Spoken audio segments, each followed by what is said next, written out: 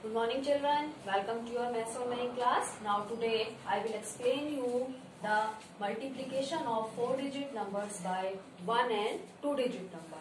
How to multiply a 4 digit number by a 1 digit number or 2 digit number. Students you have learned the tables. For this you have to do, in this you have to multiply 1932 by 4 and you have to read the table of here 4. Now first of all you will read the table of 4 to 1's place. 4 2's are 8. Okay. Then 10's place. 4 3's are 12. In 12 two you have to write here and 1 you have to put carry at 100's place. Okay. Now 4 9's are 36. 36 and this 1 you have to add. 36 plus 1 is 37. 7 you have to write here. 3 carry at thousands place. Then 4 ones are 4 plus 3 is 7. In this way you have to do this sum.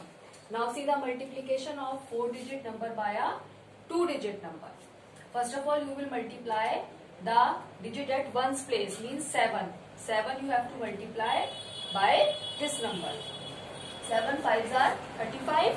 3 carry then 7 4s are 28. 28 plus 3 is 31. 1. Again 3 carry. 7 2s are 14. 14 plus 3 is 17. 1 carry. 7 2s are 14 and 1 is 15.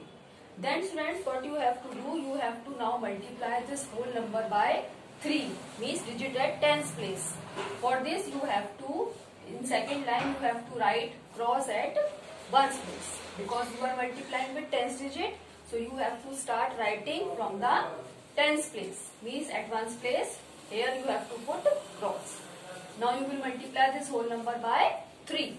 3 5s are 15, 1 is carry, 3 4s are 12. 12 plus 1 is 13, again 1 carry, 3 2s are 6 plus 1 is 7, then 3 2s are 6. Understood? Now you have to add these both numbers. 5 plus cross, cross means nothing. So here comes only 5. Then 1 plus 5 is 6. 7 plus 3 is 10. From 10 you have to write 0 here and 1 carry. Then 1 plus 5 6. 6 plus 7 is 13. 3 here, 1 carry. 1 plus 1 2 and 2 plus 6 is 8.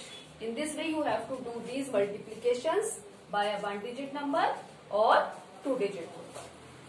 I hope all of you have understood this.